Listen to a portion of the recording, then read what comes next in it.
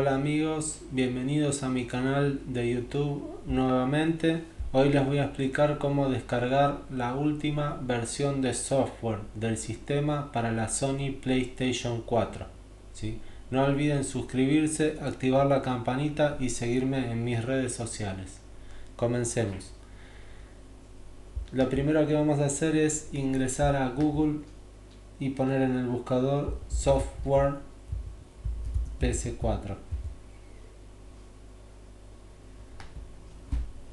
Vamos a ir al segundo link, o tercero, perdón, donde dice PS4 software del sistema. Una vez que ingresamos, deslizamos un poco para abajo y vamos a encontrar tanto el archivo de actualización como de reinstalación. Ustedes el que tienen que descargar es el de reinstalación. ¿sí? Mucha gente me dice, no me funciona. Claro, ¿por qué? Pues se equivocan y descargan el de actualización. Entonces, apretan donde dice archivo de reinstalación de Play 4.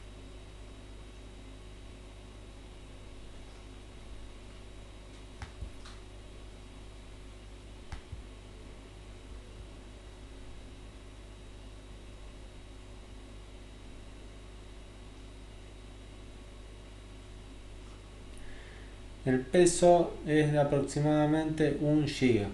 ¿sí? Yo ahora adelanto el video para que no sea interminable, pero básicamente es eso. Una vez que finaliza la descarga, el siguiente paso es tomar un pendrive. ¿sí? Si el archivo es de un giga, mínimo 2 gigas. ¿sí? Lo que mínimo viene hoy en día es 4 así que está bien lo conectamos en la computadora ordenador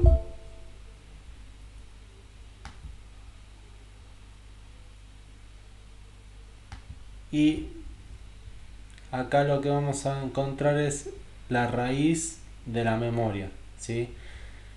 Es importante que el pendrive esté formateado en FAT32. Si no lo está, apretan botón derecho sobre el dispositivo, formatear,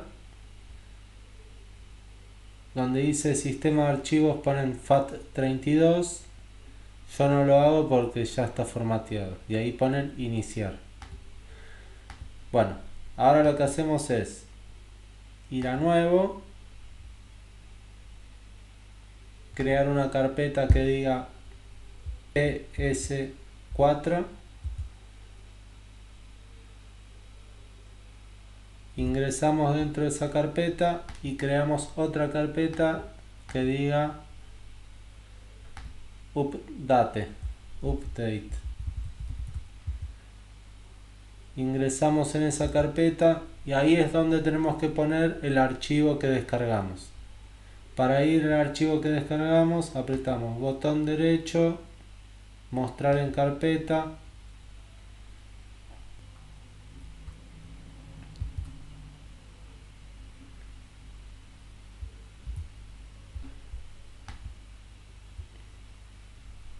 Y acá lo pegamos.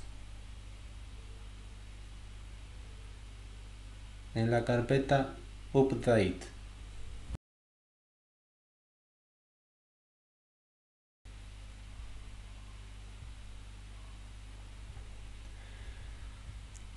Ahí se terminó de pasar el software, el archivo. Eh, por último, lo que tienen que hacer es sacar el dispositivo de forma segura. Para eso van al sector de abajo a la derecha, donde dice quitar hardware de forma segura y expulsar el medio. Apretan y buscan el pendrive. En este caso el mío es el Kingston. Ponemos expulsar device Listo. Ya está. Lo único que hay que hacer ahora es poner el pendrive en la máquina y seguir los pasos de la Play. Así que bueno, espero que les haya servido y nos vemos en el próximo video.